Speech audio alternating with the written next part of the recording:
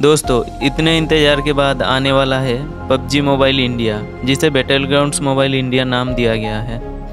कल, यानी कि 6 मई को, इसका टीजर उनके ऑफिशियल यूट्यूब चैनल पर पब्लिश किया गया है। दोस्तों, उनका जो वेबसाइट है battlegrounds mobile India dot com अब एक्टिव है। और क्रप्टन ने ऑफिशियली कह दिया है, यहाँ पर टेंसेंट या पबजी नाम का कोई ज़िक्र नहीं है। क्रप्टन ने ही इस गेम को बनाया है। और इसमें कुछ नया देखने को मिल सकता है। यहाँ पर क्लियरली कहा गया है, ये गेम लॉन्च होने से पहले प्री रजिस्ट्रेशन होगा और प्राइवेसी के ऊपर ध्यान रख के ये गेम बनाया गया है। तो दोस्तों, ये था पबजी मोबाइल इंडिया का अपडेट। और ऐसी अपडेट जानने के लिए हमारे चैनल के साथ जुड़े रहिए। धन्यवाद।